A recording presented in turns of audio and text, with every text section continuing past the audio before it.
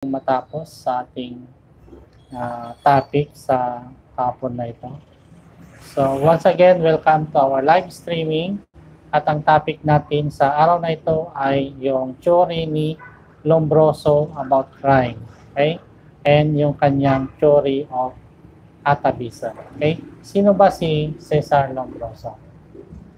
Si Cesar Lombroso ay isang Italian scientist. Yan.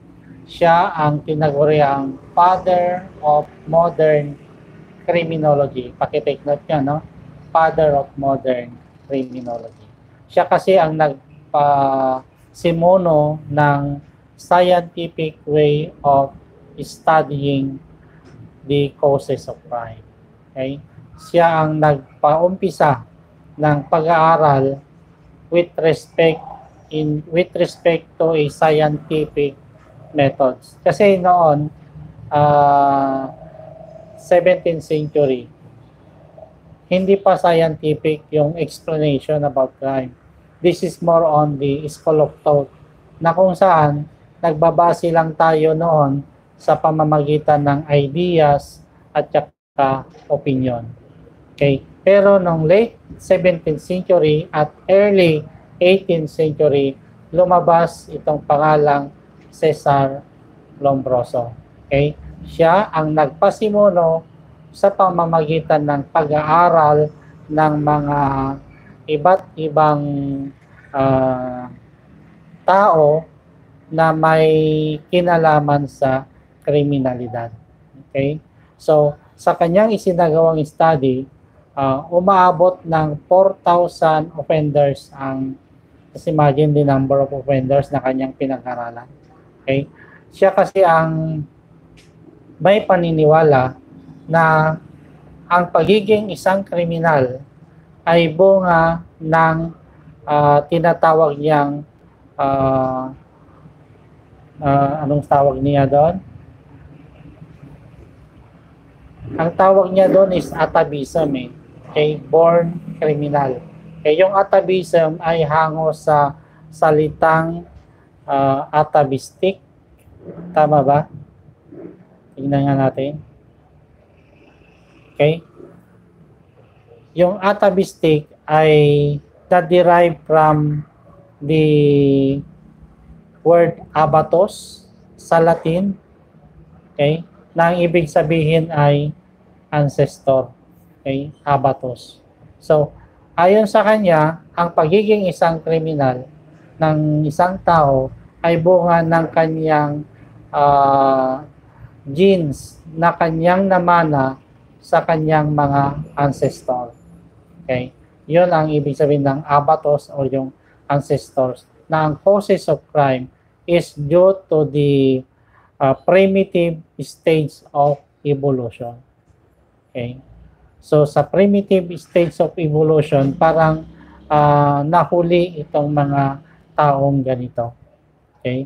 So the primitive stage of evolution is more on the offenders rather than those that are non-offenders.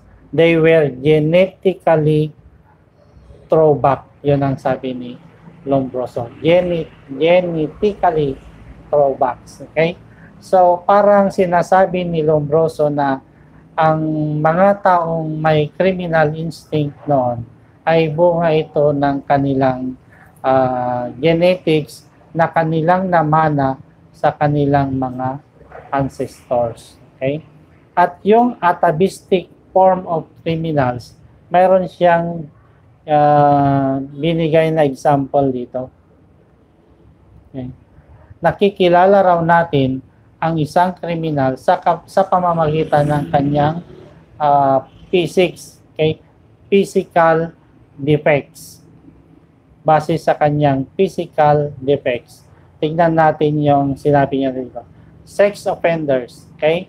Dinescribe niya kung paano natin makikilala itong mga criminals. Eh. Sex offenders, up, paki-open pala yung notes ninyo sa page 59, okay? nandun yung ating pinag-uusapan. Say, sex offender, sabi niya, thick lips and protruding ears. Okay. Ayon kay Lombroso, o yung mga sex offenders daw ay mayroong makapal ang bibig at protruding yung kanilang tainga, malalaki. Okay. So, just imagine ang ginawang uh, basihan ni Lombroso sa kanyang uh, theory of crime is about the physical features of the criminals. Sex offenders, makapalang bibig, protruding ears. Eh, sino naman yung mga murderer? Okay? Ayon sa kanya, murderer are those called glassy stares, bloodshot eyes in big hawk-like nose. Okay? So, that is about murderer. Eh, yung mga theft naman, yung mga magnanakaw, sabi niya, expressive face, manual dexterity, and small wandering eyes. Okay, yung uh, parasited person, okay, at saka yung mga hindi naman kalakihang tao, ang malimit daw na krimen na kanilang ginagawa ay pagnanakaw. Okay? Sa mga murderer naman, uh, makikilala makikilala natin sila sa kanilang blood, ang sabi dito, bloodshot eyes. Yung parang nandilisik yung mata, pulang-pula yung mata, yun daw ang mga klase ng mga taong murderer. Okay? Sa mga mahilig naman sa sex offenders, makikilala natin sa kanilang mga bibig. Makapal daw yung kanilang bibig. Okay? At saka protruding yung kanilang mga tainga. So, kung iipunin natin yung mga physical features na sinasabi ni Lombroso, lalabas sa ating isipan na ang mga criminals ay yung mga taong pinagkaitan ng magandang mukha.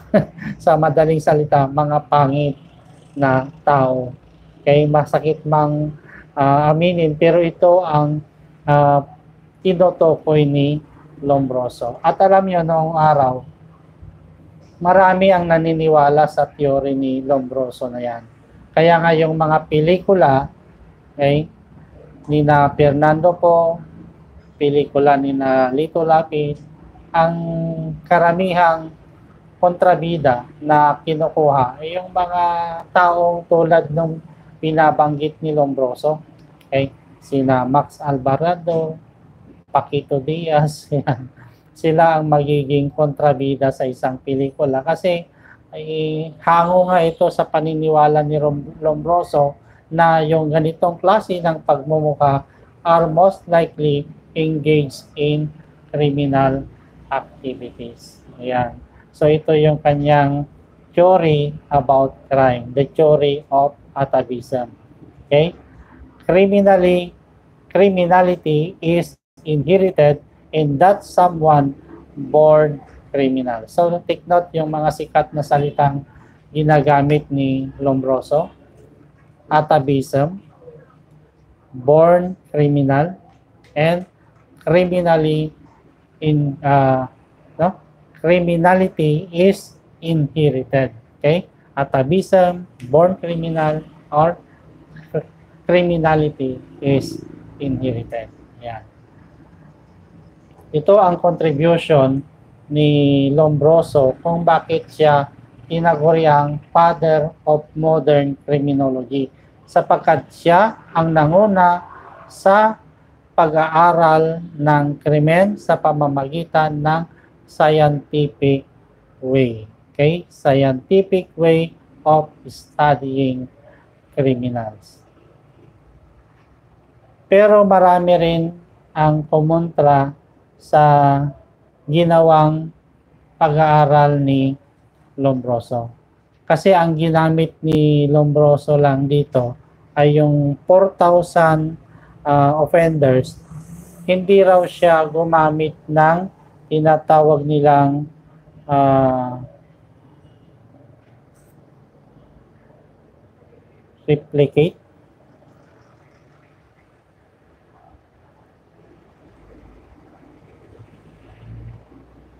ano yung kontra dito si kani Ag Agnew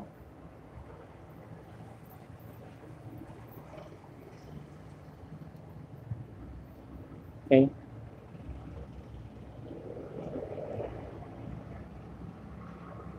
according to Agnew, okay, 1992, possessing these unpleasant physical characteristics. So, tama nga yung sinabi natin, ano? Unpleasant physical characteristics might lead to unpleasant social interactions. This leads to frustration in anger, which in turn lead to offending behavior. Yan. Ito na ang sinasabi ni Agnew. Kontra siya sa paniniwala ni Lombroso. Sabi niya, yung unpleasant physical characteristics, okay, yung pagiging isang pangit, ay hindi raw ito ang rason kung bakit nagiging kriminal yung isang tao, sabi ni Agnew. Ang sabi niya, kaya nagiging kriminal ang mga taong ganito dahil dinidisregard sila ng community. Nagkakaroon ng socially defective relationship sa ibang tao. Kaya therefore, nagkakaroon sila ng hatred, frustration, kaya dito sila nakakagawa ng krimen. Hindi yung pagiging pangit nila. Yan ang sabi niya, Agnew. Okay? Sinuportahan naman ito ni Goring.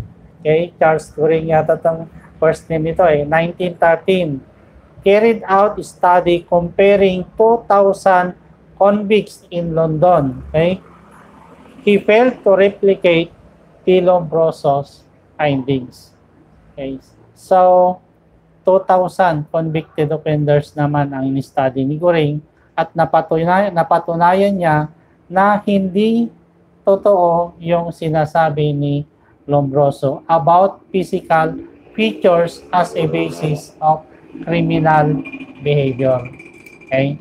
So, hindi nakita ni Goring sa kanyang study out of 2,000 convicts na yung mga physical features nito ay siyang pangunahing rason kung bakit gumagawa ng krimen ang mga tao. Okay? So, gayon pa man, si Lombroso pa rin ang ating kinikilalang father of modern criminology sapagkat ginugol niya ang kanyang uh, buong buhay kasama na ang kanyang mga estudyante sa pag-aaral ng mga criminals. Hindi lang mga uh, buhay na tao, kasama na rin na pinapag-aralan niya yung mga patay na sa pamamagitan ng pagkakandak niya ng mga autopsies. Okay? Tinitignan niya yung mga skulls. Okay? Ano pa ba yung mga tinitignan niya doon? Skulls. Ah... Uh,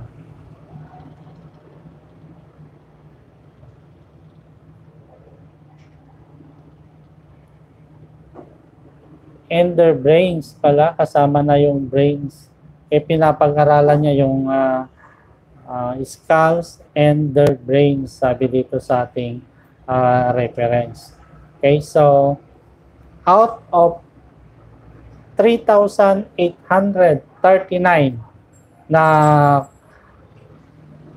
living person, 40% of them had atavistic characteristics. Ito kasi yung uh, lumabas sa pag-aaral ni Lombroso kay 3,839 living persons ang kanyang subject at lumalabas na 40% dito sa mga subject niya ay nag-positive sa kanyang atavistic uh, way of identifying criminals.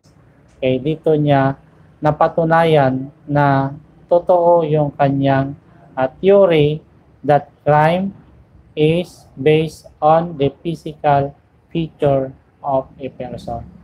Nakinontra naman ni Agnes at ni Agnes, nakinontra naman ni Agnew, I should say, Agnew at saka ni Goring. Okay, so that's all for the theory of crime according to Lombroso. Take note, Lombroso is the father of modern criminology naging sikat yung kanyang theory of crime based on atavism. Okay? Based on atavism that criminality is inherited. There are persons what we call born criminal. Okay? So that is all for this afternoon. Ito lang ang ating ah, ah, topic sa hapong ito. Dadagdagan na naman natin sa ating mga susunod na pagkikita. Okay? So maraming salamat sa inyong pag-login at inaasahan natin na suportahan niyo pa rin ang ating lingkod sa mga susunod nating ah ah, isasagawang pagtalakay sa subject na ah, anong sabi natin criminology to o yung theories of crime causation. Mala- maraming salamat sa inyong lahat at mabuhay tayo. Ah, mabuhay kayong lahat and have a nice day.